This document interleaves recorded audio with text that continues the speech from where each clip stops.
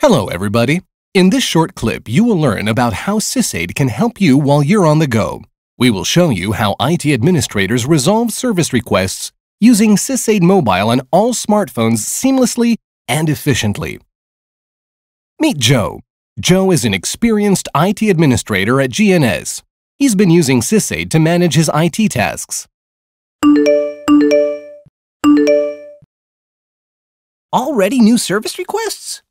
Why so early? Joe wants to handle the service requests. They're all urgent, and he hasn't headed to the office yet.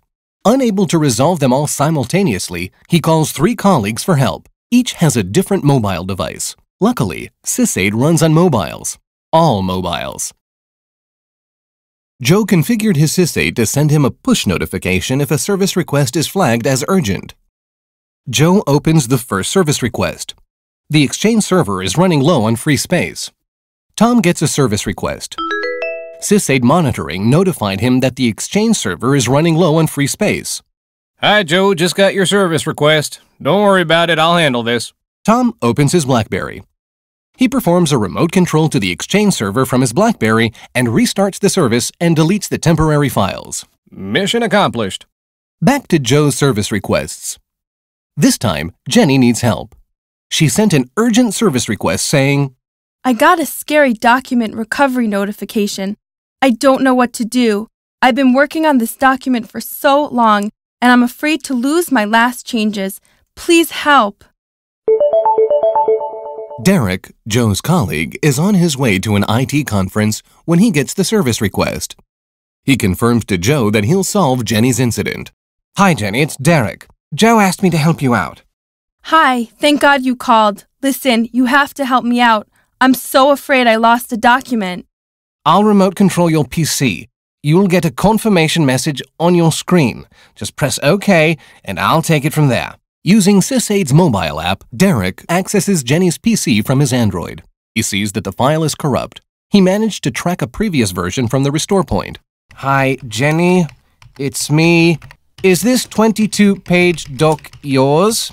Are these your last changes? Hmm, almost. All I changed was the date.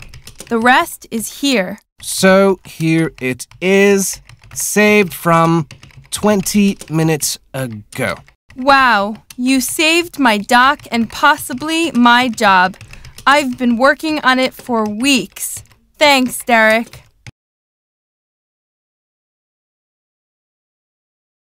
Good morning. What would you like to order?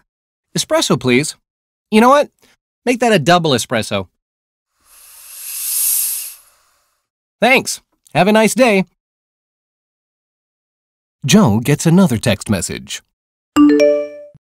Oh no! I totally forgot about that! The recurring notification indicated that Joe needs to perform server maintenance at GNS's remote company site. Two down, one more to go. I wonder what's in the last service request. Stephen, the CFO at GNS, called Stephanie, his secretary, at 7 a.m., saying he can't open the presentation file for his board meeting. Stephanie opened a service request that was asking for urgent assistance. Hi, Stephen can't open a PPTX file. Help, this is urgent.